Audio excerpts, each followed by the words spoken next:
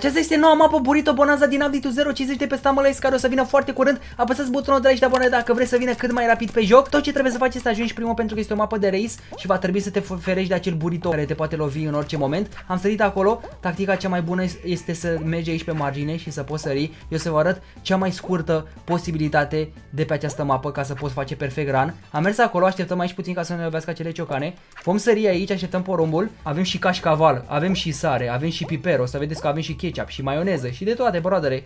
Uh, asta nu știu sigur ce este. Vom sări pe această sare și uite, tactica cea mai bună este aici să poți sări pe acest ketchup și pe acest uh, muștar, că nu putem spune că este maioneză. Uitați-vă cât de tare este, brodere, și cât de scurt a fost. Am ajuns primii. Like și abonare dacă vreți și voi să vedeți mapa aceasta și să jucați pe ea.